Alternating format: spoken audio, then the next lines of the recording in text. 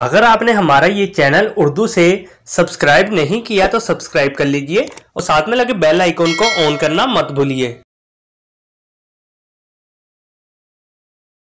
नाम है आगा। आगा नाम के मायनी है इज़्ज़त वाला। नाम है आकिब। आकिब नाम के मायनी है नाइब आला अहदा जानशीन।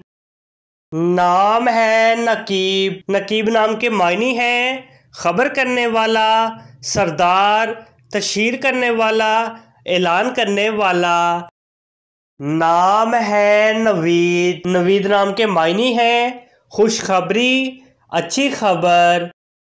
नाम है शोएब। शोएब नाम के मायनी है राह रास पर लाने वाला, रहनुमाई करने वाला।